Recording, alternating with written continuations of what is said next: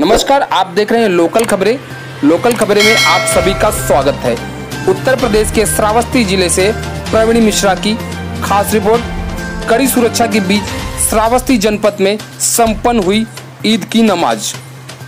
जनपद के प्रत्येक ईदगाह में शांतिपूर्वक ईद की नमाज़ अदा कर लोगों ने मुल्क में अमन और शांति की दुआ मांगी। इस दौरान सुरक्षा के कड़े इंतज़ाम रहे। एसपी, एएसपी सीओ व शहर कोतवाल समेत 150 पुलिसकर्मी मौके पर मुस्तैद रहे। श्रावस्ती जनपद के ईदगाह में मुख्य गेट पर एक तरफ़ डीएम दीपक मीणा, एसपी आशीष श्रीवास्तव व एएसपी सीओ एसडीएम सहित ज़िले के अन्य अधिकारी मौजूद रहे। सुरक्षा व्यवस्था का जायजा लेते रहे। वही ड्रोन कैमरे से पुलिस हर चप्पे चप्पे पर नज़र रख रही थी।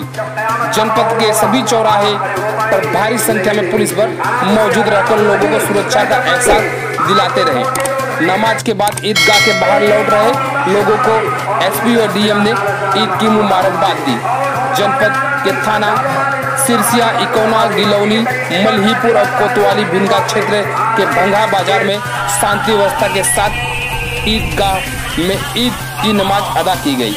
इस दौरान सुरक्षा के पुख्ता इंतज़ाम किए गए थे।